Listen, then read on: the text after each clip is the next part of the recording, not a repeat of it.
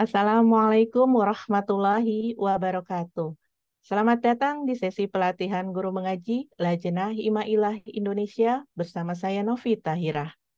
Pada pertemuan pekan keempat ini, kita akan mempelajari materi mengenai hukum mim sakin.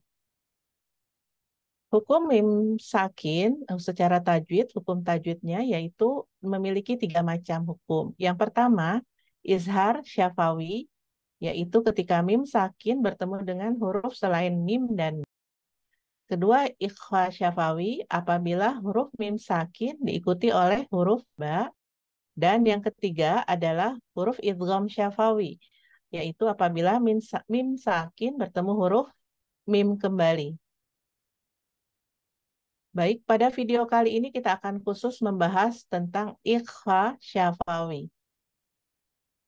Ikhfa syafawi artinya maknanya ikhfa itu samar, syafawi itu artinya bibir. Jadi mim sakin bertemu dengan huruf ba. Inilah hukum ikhfa syafawi. Mim sakin dibaca samar dan dengung ditahan dua detik atau dua harokat. Di sini ikhfa syafawi yaitu mim sakin bertemu huruf ba bisa berharokat fathah, kasroh, ataupun dhammah. Posisi bibir kita saat mengucapkan ikhfa syafawi itu, ikhfa kan artinya samar. Sedangkan mim dan ba, kedua-dua huruf ini keluar makrosnya adalah dari kedua bibir.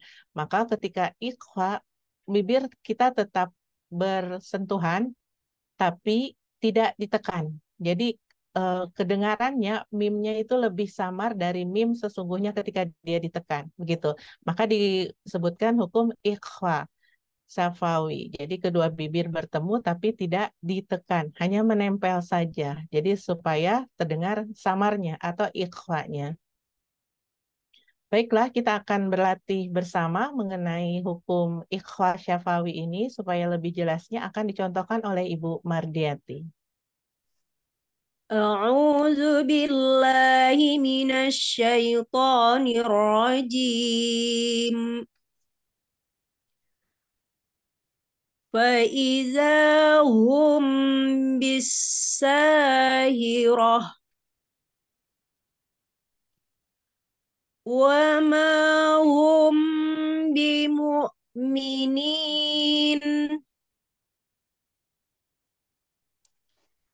وإذا بشر أحدهم بالأنثى ظل وجهه وإذا حييتم بتحية فحيوا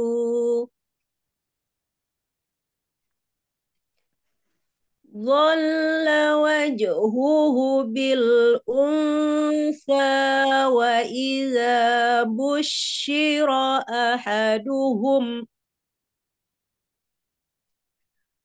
ظل وجهه بالأنثى وإذا بشر أحدهم Baik, jazakillah Ibu Mardiati.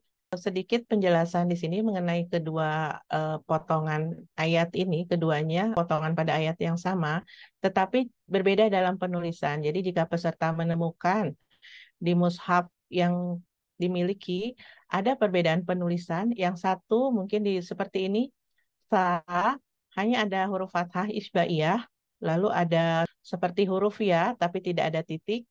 Dan yang kedua, ada penulisan sa uh, di atas huruf sa hanya fathah dan di atas um, huruf ya tanpa titik ini ada fathah isbaiyah.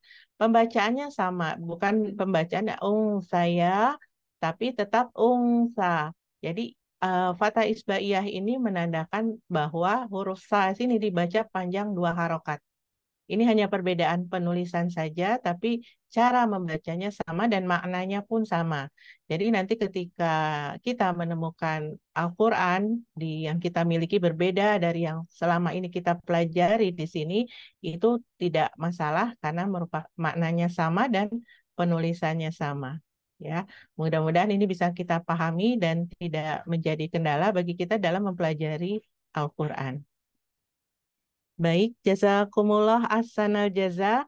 Demikianlah penyampaian materi pada pekan ini. Sekali lagi kami ucapkan jazakumullah ahsanal jaza kepada para peserta yang sudah menyimak dengan baik. Selamat berlatih, sampai berjumpa di pertemuan selanjutnya.